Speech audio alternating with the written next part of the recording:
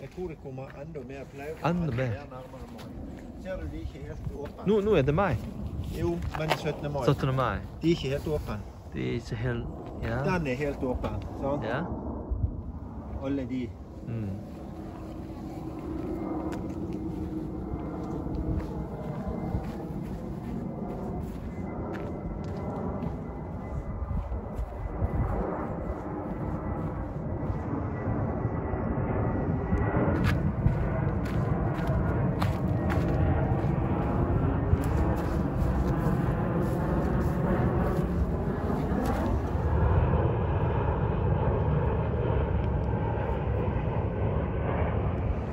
evli dans kabot